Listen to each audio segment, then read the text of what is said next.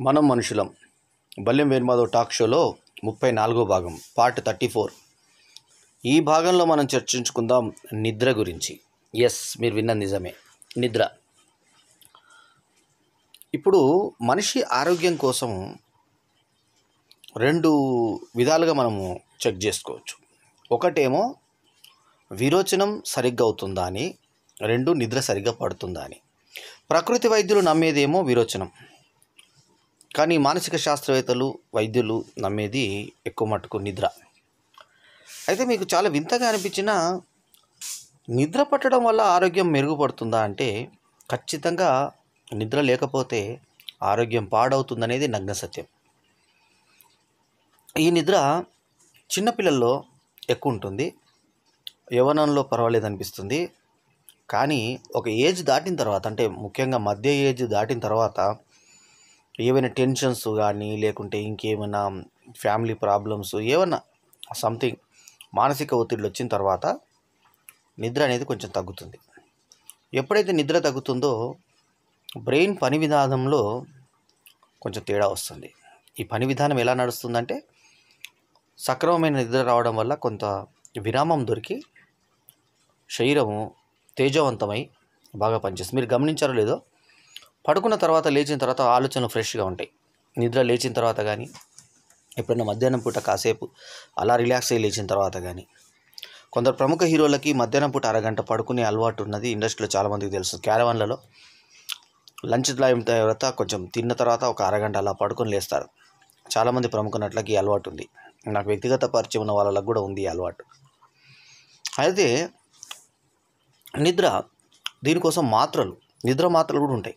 నిద్ర మాత్రలు కూడా వేసుకొని. కాకపోతే ఏంటంటే నిద్ర మాత్ర అనేది డాక్టర్ సజెస్ట్ చేసే వరకు వాడకూడదు. డాక్టర్ సజెస్ట్ చేసిన తర్వాత మాత్రమే షాప్ వాళ్ళు కూడా ప్రిస్క్రిప్షన్ ఉంటేనే నిద్ర మాత్రలు ఇస్తారు జనరల్లీ. అయితే నిద్రకు మాత్రలు కూడా ఉంటాయి నిద్ర మాత్రలు సో ముఖ్యంగా మానసిక ఒత్తిళ్ళకు గురయ్యే వాళ్ళకు తరచూ వచ్చే ఈ ఆందోళనలు ఇవన్నీ కూడా తగ్గడానికి నిద్రకు ట్యాబ్లెట్స్ ఇస్తుంటారు. అందులో ప్రధాన అంశం వాళ్ళు విశ్రాంతి దొరకాలన్నటువంటి ఒక అభిప్రాయంతో రోగి అంటే మానసిక రోగి ఎవరైనా పేషెంట్ వెళ్ళినప్పుడు వాళ్ళు ముఖ్యంగా చెక్ చేసేది నీకు నిద్ర సరిగా పడుతుందా? వాళ్ళని అడిగే మొదటి ప్రశ్న ఇవాళ డేట్ ఎంత?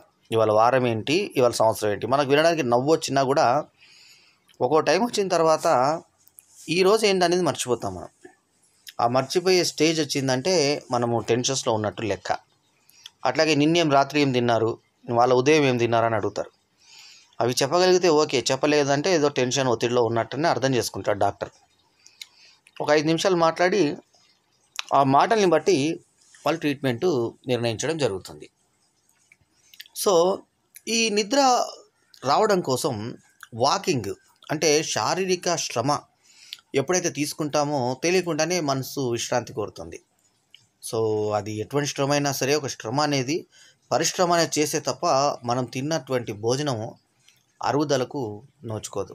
అలాగే పండుకొని ఉంటే పేషెంట్లకి మీరు గమనించండి వాళ్ళకు అరగదు అన్నం.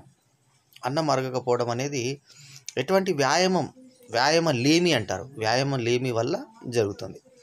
అందుకే కాసేపైనా నడవాలని చెప్పి డాక్టర్ అనేది నాలుగు అడుగులు వేస్తే కొంచెం మనకి ఫ్రీగా ఉంటుంది. ఒక్కోసారి చెస్ట్లో మనకు గాలి పట్టేసినట్టుగా లేకుంటే గ్యాస్ అయ్యి పిత్తులు రావడము లేకుంటే ఉబ్బరంగా ఉండడము బేకౌట్ రావడము ఇలాంటివన్నీ వస్తుంటాయి.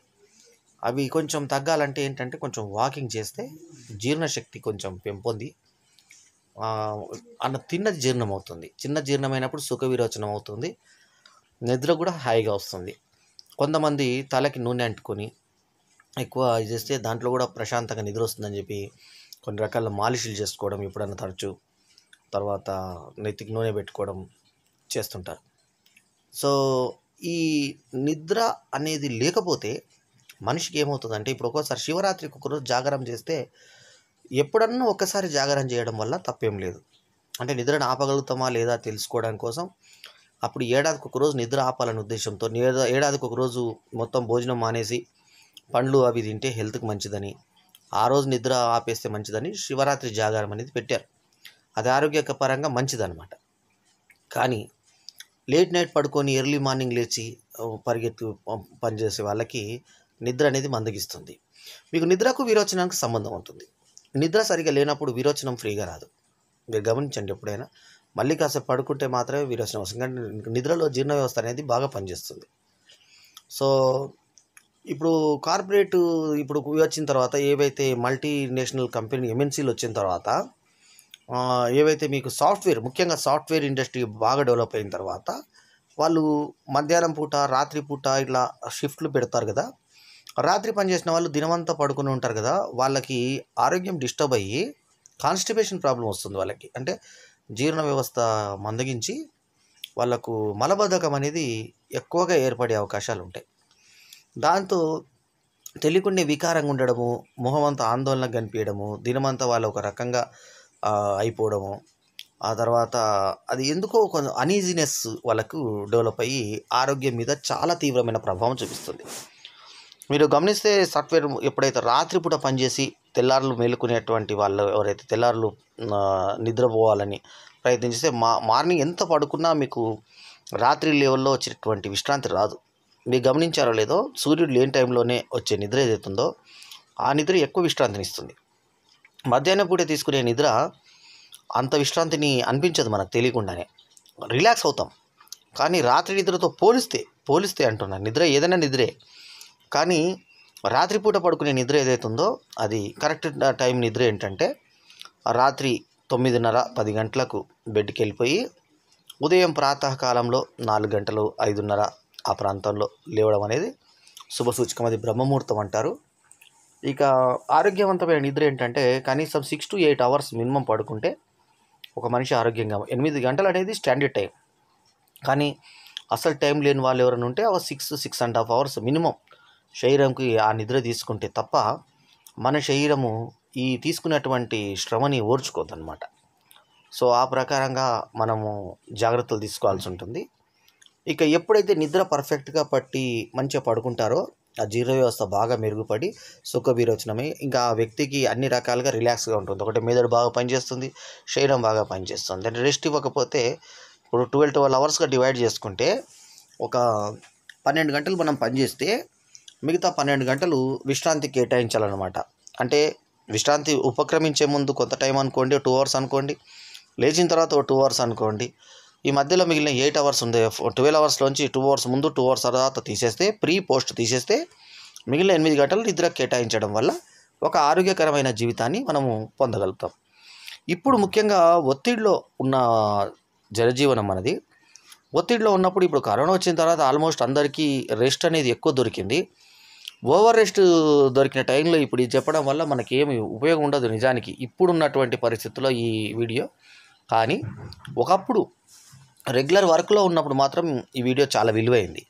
అయితే ఎప్పటికైనా విలువ ఏంటంటే ఈ నిద్ర అనేది సరి అయిన సమయంలో కరెక్ట్గా తీసుకోకుంటే మాత్రం హండ్రెడ్ పర్సెంట్ శరీరానికి అనర్థాలు చేసి అది మెదడు వ్యవస్థను దెబ్బతీస్తుంది. దెబ్బతీసి మనము ఏవైతే చేస్తున్నామో ఆ పనులను మనకు వేగవంతం కాకుండా ఆపుతుంది. అట్లాగే మన ఆలోచన సరళిని ప్రశాంతంగా ఆలోచించుకునేలాగా ఉంచదు. ఏదైనా డెసిషన్ వెంటనే తీసుకునేలాగా బ్రెయిన్ ఉండదు. అలాగే శరీరం శరీరం కూడా శారీరకంగా మనకు శ్రమ తీసుకొని ఎప్పుడైతే మనము రెస్ట్ తీసుకోమో అంటే విశ్రాంతి తీసుకోమో వెంటనే మళ్ళీ ఇంకేదైనా పనికి ఉపకృతమైనప్పుడు శరీరం సహకరించదు. సో తెలియకుండానే ఒక అనీజినెస్ అనేది ఉంటుంది. పైగా శాంతం అనేది నశించి ఏ చిన్న చిన్న దానికి కూడా ధన్మని ఫైర్ అయ్యేటువంటి మానసిక స్థితి ఉంటుంది. అందుకే నిద్ర అనేది చాలా చాలా చాలా ఇంపార్టెంట్ మీరు పిల్లల్ని గమనించండి. ఎక్కువసేపు పడుకుంటారు పిల్లలు. అందుకే ఎటువంటి ఆందోళన ఉండదు కాబట్టి పిల్లలు వాళ్ళు చాలా చక్కటి నిద్ర అనుభవిస్తారు.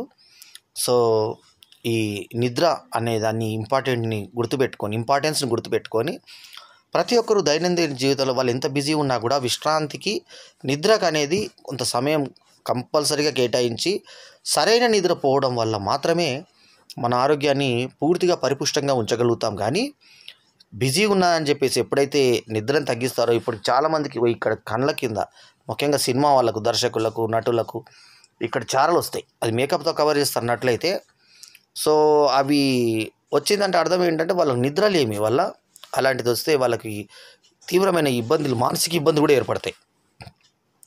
సైకలాజికల్ వైబ్రేషన్స్ కూడా వచ్చి వాళ్ళకి సరైనటువంటి పంతాలు ఆలోచించలేకపోతారు.